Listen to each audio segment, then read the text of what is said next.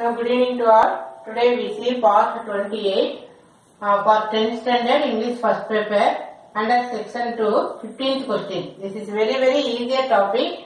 Uh, even uh, all students can attend this question. For this uh, three options are given. In this uh, we are choosing the correct option. Uh, if clause first one Naveen is late. Before that we see the rules for this. This is first part and this one is second part. A option, B option, C option. Otherwise we are choosing the correct one. So in the first part, if the uh, verb is in present tense, you have to choose will. First part la present tense in the second part la you are choosing will. If it is past tense means you are choosing would. Then present perfect means you are choosing will plus have plus verb 3. Present perfect அப்படின்னா uh, have gone. Have gone or has gone. Has gone or have gone. Has plus verb 3. Have plus verb 3. This is present perfect. Past perfect means had. We are using had. This is past perfect. For example, had plus verb 3. This is had plus verb 3.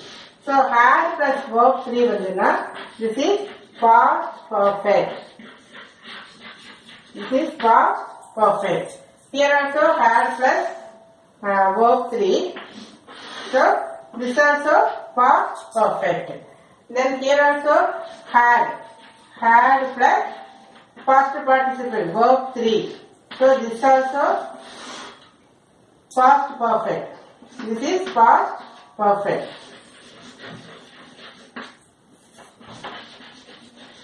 This is past perfect. Here you see this one rains.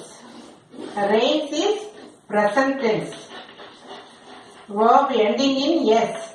That is known as uh, present tense. If it rains, this is in present form. So present form அப்படின்னா will, past tense means would, present perfect na will plus have plus verb 3, past perfect means would plus have plus verb 3. இந்த நாலு கண்டிஷன்ஸும் தெரிஞ்சிச்சுன்னா definitely you can get one mark under this topic. And come to the last one. If this morning had been, this also had plus verb 3. So this also past perfect. So எல்லாமே மு- எல்லாமே past perfect except uh, two. So you have to choose past perfect னு என்ன choose பண்ணணும் would plus have plus verb 3. So here is is is present tense. So you are choosing will. Then uh, here this is past perfect. Past perfect na would have third form. Then this also past perfect. That means you are choosing would have then third form. Then here this also past perfect. இதுக்கு தான் importance கொடுக்கணும் இந்த சென்டென்ஸ்ல அந்த tense வந்து கரெக்டா பார்க்கணும் had plus uh, third form வந்து had plus third formனா it is past perfect. Past perfect means would plus have plus third form. So this one is the correct one. Here rains. Rains means present tense. Present tense means you are choosing uh, will. இங்க will க்கு பதிலா shall. Because here it is given uh, if it rain. I கொடுத்திருக்கு. I கொடுத்திருக்கிறதுனால you are choosing a shall. Instead of will, shall.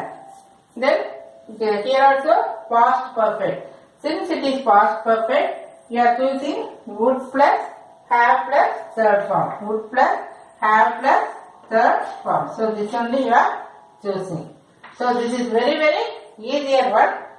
Present tense means you are choosing will. Past tense na would. Present perfect. Present perfect na have has. இந்த இது வரணும்.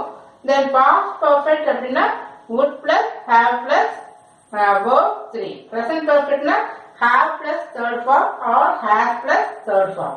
So இந்த மூணு நமக்கு தெரிஞ்சா போய் have third form has third form then had third part. So in the render, you are choosing will. This one you are choosing will plus have plus verb 3. If you find had plus verb 3, you are choosing this one. Would plus have plus verb 3. So this is very very easy topic. Everyone can attend this. Thank you.